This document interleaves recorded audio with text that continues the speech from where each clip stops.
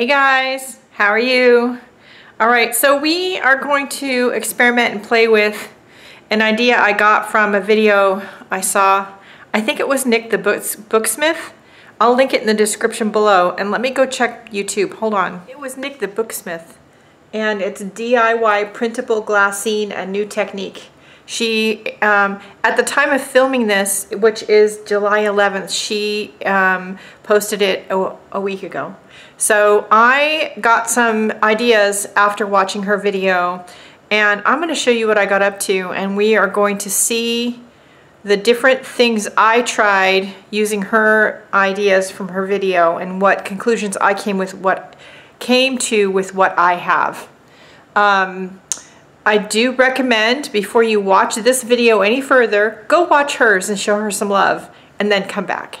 All right, let me switch and go to the table. I'll be right back. Okay, after we I watched her video, my husband and I went to the library and they have a used book sale section, which most libraries have. Libraries have a used book sale section where there's books that can no longer be lent or they get donations of books they don't have room for or they're not, you know, in this case this is a dictionary. I, you know, how many dictionaries does a library need in their lending library? So they had this one for sale. I think it was a dollar. So of course I bought it. Did I need it? Not really. Don't tell anybody.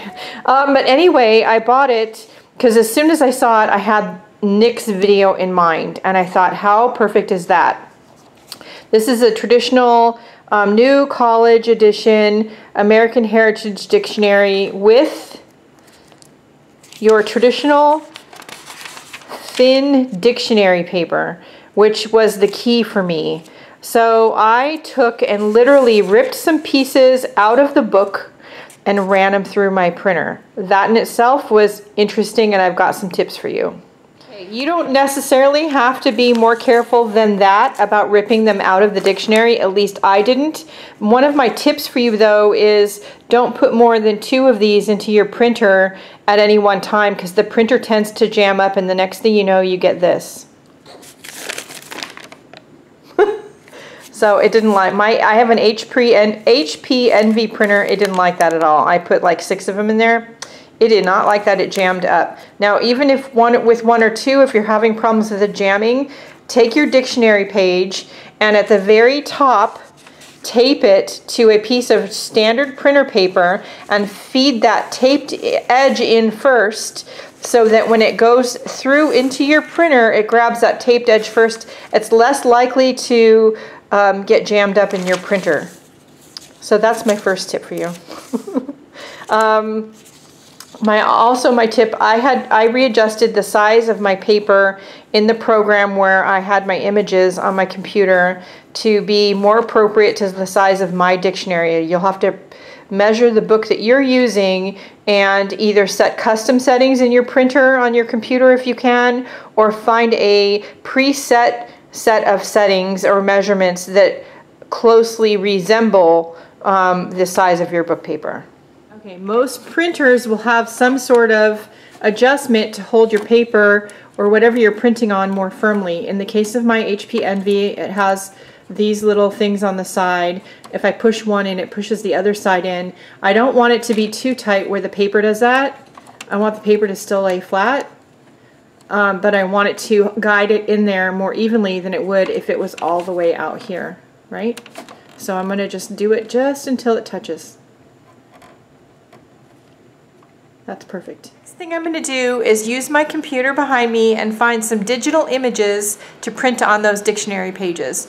Now you may be like me and you may have a file folder on your computer full of, um, sorry I keep fiddling with the camera, file folder full of old clip art images back from your scrapbooking days when Dover and other publishers would sell books of clip art with a CD that you could put on your computer and then you could reprint them to use in your scrapbooks. Y'all remember that? I don't know about you, uh, but I still have file folders full of all different kinds of images, including botanical images, holiday images, like all kinds. And along with my own digital downloads from my Etsy shop, I have some from Mike Deakin, I have some from Tim Holtz, I have some from the Graphics Fairy. There's lots of places to get digital images, not to mention you can scan your own artwork and print it on the dictionary pages. Wouldn't that be fun? Okay, I'm going to try to film this for you So I set up a document in my word processing program. Um, I have an Apple computer, so I have pages. You definitely could do this in Microsoft Word or Microsoft Publisher. The exact details of how to do it, I'm not sure because I have a Mac, um, but I'm sure y'all can figure it out. So I'm going to enlarge my image. This is one of those images from the scrapbooking days. Um, and I um, am going to not quite make it the size of the paper. I'm using a B5 size document. That works with my dictionary. Um, but it's not exactly right. It's actually a little bit bigger. So I'm going to make the image a little bit smaller um, than the page. Then I'm going to go up here to the top to Format, Image, Instant Alpha, which is the part of pages we use to take out the background color. I don't want it to try to print the background, I just want the flowers. So I'm going to just do that. And that takes that out. Then I'm going to do it here and here. Nope, well, that's fine. There. You don't have to do it everywhere, but I just do it I don't want it to try to print that beige yellowy background on everything. I'm not, I don't really mind if it does it in a few places, but for the most part, I want to leave the dictionary paper the color that they were. And do you have to do this? Probably not, but I, I just, I do just in case. That looks pretty good. So I'm to hit done. And this is a big file that I have. I don't know how many pages it is. It's just the last page. So I just wanted to print the last page. So I'm going to go File, Print. And then I'm going to have it, there's 12 pages. So we're going to do 12 to 12. Oops. And print.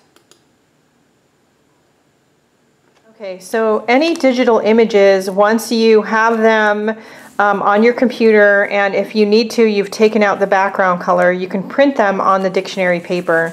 Um, you may have, so this one here um, got caught up with,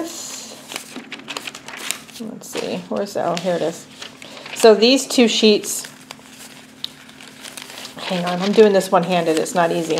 So, so, these two pages got caught up and came out of the printer, printer as one you know, I'm not mad about it, so I'll keep this one and use it as it is. I took this one and I put it back in this side up and printed on it again, and there you go.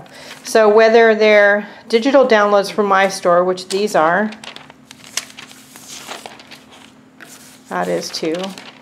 Something maybe that you created that, you know, is just for your personal use, which this is. This is one of Mike Deakin's digital downloads. It didn't print perfectly because honestly I was doing like five things at once and I didn't have time to fiddle with the paper size. But how cool is his owl design going to be on this dictionary paper? That is so cool. Or it's one of these other sort of stock images that you've already got from the scrapbooking days on your computer. They all print really well on the paper. So then the next step, because this is an inkjet printer, is to seal them because if you don't, this ink is going to run all over the place when you try to glue it down with anything wet. So I took these two. Hold on, I gotta move some stuff out of the way. Okay, I have these two that kind of got caught in the printer. I've already used a piece of that one. That's why there's a piece missing. I've used it in a project. Um, but I took these two and I sprayed them with uh, Spectrafix. Now Spectrafix is a non-aerosol fixative spray. I don't like to use a lot of aerosols because I do have asthma. Spectrafix works pretty well. Um, it did make the ink run a little bit, mostly you can see it a little bit here on the butterfly wings. It's not too bad actually. And then I took the other two and I just did just wax. So after the Spectrafix was dry, then I took Dorland's wax on a brush and covered both the ink side and the back side of the image with this wax. Now why this wax not beeswax? Because once this wax hardens, it doesn't reactivate uh, like beeswax would. As soon as the beeswax got hot, it would turn liquid. This doesn't do that. Once it's hard, it's hard. It does leave a traditional sort of waxy feeling finish. Um, it didn't add a lot of transparency to the paper, uh, like Nik the Booksmith had. I was thinking maybe it might, but it didn't add a lot at all, if any. So I have a bunch of these other sheets I've printed. Not that I don't like these. These worked great. I did use this one in a project already. It glued down fabulous. The finish, uh, the feel of the finish that you do get with the wax and a little bit of a, you can see a little bit of a shine, like a, like a semi-gloss. Um, I, I love that. It's just not, it's not super transparent or anything if you want that. So I do have a stack more of these botanical prints and then some of these other things that I just printed. So we're gonna spray some of these and or wax some of these and we will see what happens and I'll be back. And the spray that I'm going to use, the other spray I'm going to use is the same one Nik the Booksmith had. Rust-Oleum American Accents, two times Ultra Cover, Semi-Gloss in clear. They make this, this is their like outdoor spray paint and this is just their clear in semi-gloss. They make it into matte, semi-gloss, and gloss. I didn't want it matte and I didn't want it too shiny, so this will work. All right, I'll be back.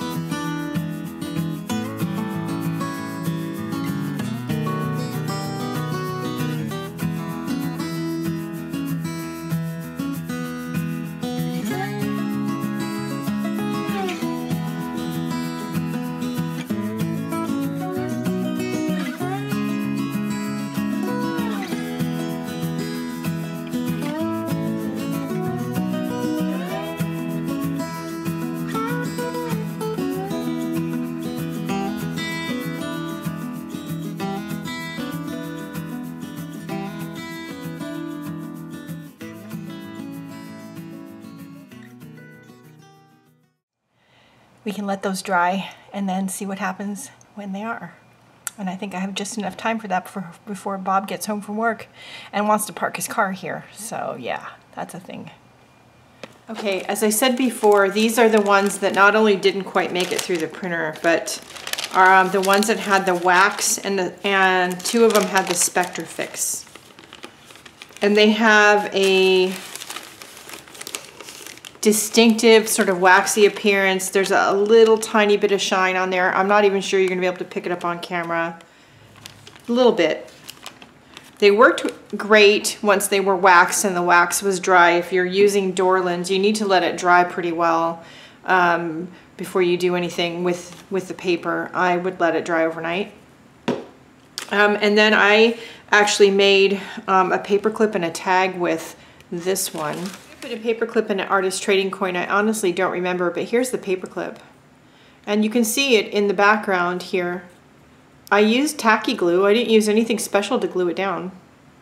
And it worked really well. So that's, if you have something like Dorland's, it worked really well. I really wanted to try to see if I could get the paper a little bit more uh, transparent. I mean, it's, it's thin paper, but it's dictionary paper. It's not going to be like doing this on some of the papers Nik the Booksmith tried, but I wanted to, I really, really wanted to try this. I had to order it because nobody around me had it. Then afterwards I find out that I, Walmart might have it.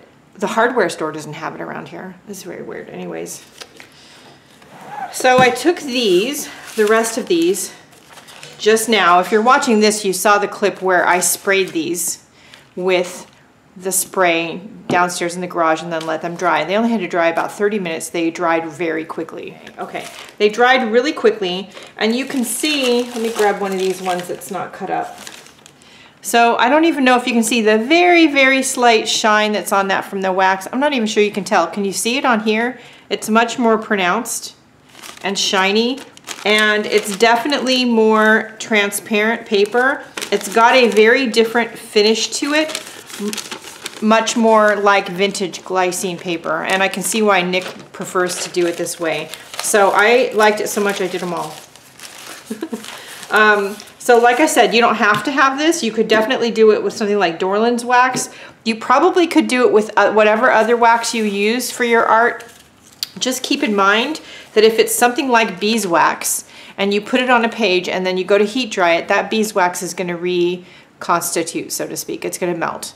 And so that's, I don't know what that's gonna do to your work. Uh, won't do that. Um, and this is not gonna do that.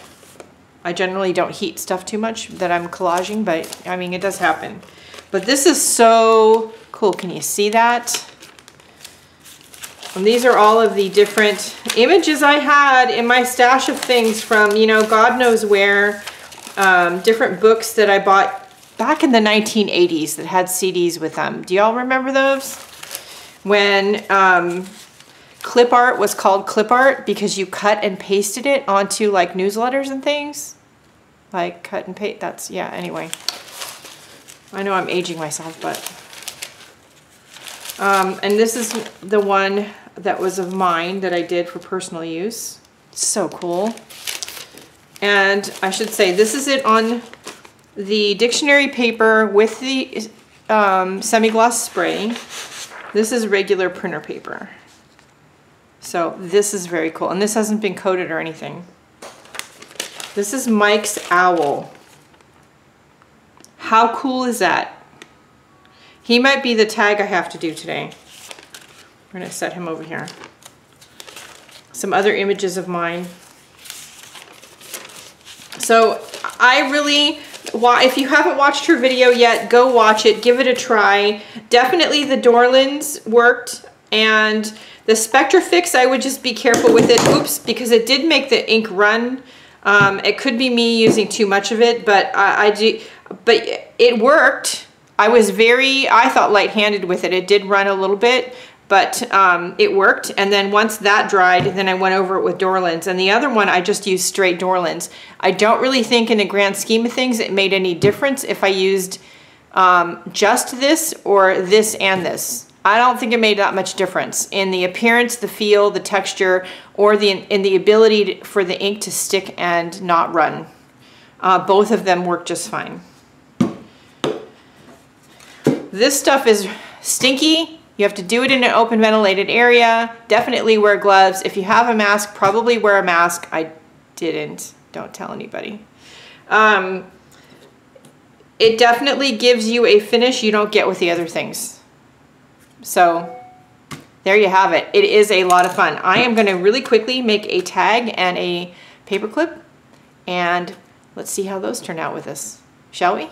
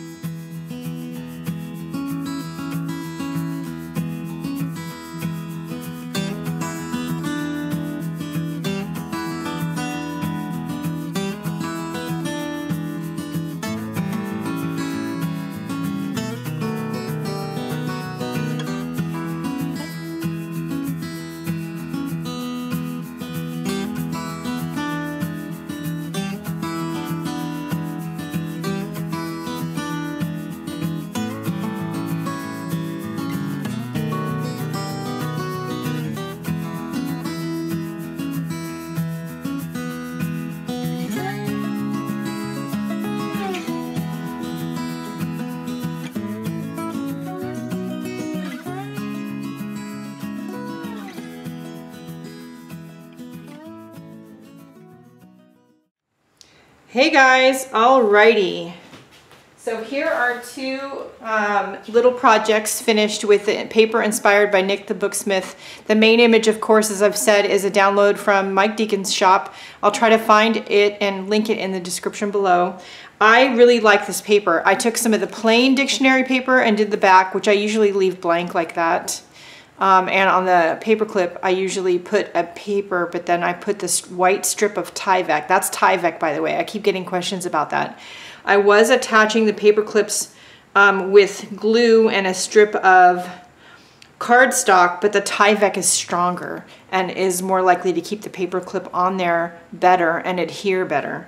Um, and I need to trim that just a little bit. There we go. Oh, and there. Okay. Um, so that's that's what that is. It's a piece of a Tyvek envelope. You know those envelopes you get in the mail that you can't rip open, you have to cut open? Tyvek. Um, so I usually buy a pack of them at the office supply store and I only use them for art for things like this.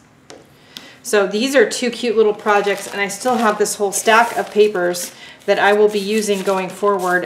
This is a lot of fun. I would make a big batch of it because it is sort of labor intensive paper to make between uh, printing it and then spraying it or waxing it and then letting it dry and just make yourself a nice stack of it.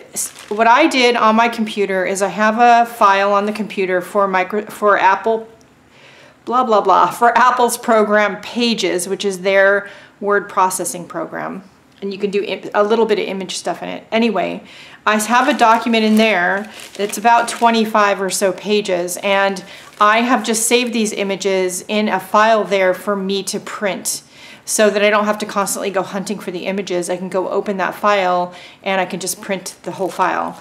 Um, and when I have an image I want to add to it, I just go add a new page and then I print that new page. Um, but I would just do a whole stack of them, make yourself a file and just print all of them. Again, you need to do just one or two sheets at a time in the printer, so that's kind of a pain too. But it is worth it in the end. I think you get a really interesting piece of paper, an interesting image to look to look at and use in your art um, in, in different ways, in journaling, in tags, and paper clips, and whatever. So give it a try, see what you think. Go watch Nik's channel. Um, don't forget to show her some love. Like, share, and subscribe if you will. If you want to follow me on social media and see what I do with regards to paper clips or tags or whatever, or drawing every day, because I do do art every day, um, and you want to and or you want to support the free content here on YouTube or over in the art groups over on Facebook, click on the Linktree list of links, which is in the description below. My Happy Mail address is down there too. You'll find a bunch of stuff about me. I'm all over the place. Um, anyway, check it out, see what you think. If you have any questions, comments, or concerns, leave them in the description below. And above all, go out and have a great day and do something nice for yourself because you deserve it. And I'll see you later. Bye, guys.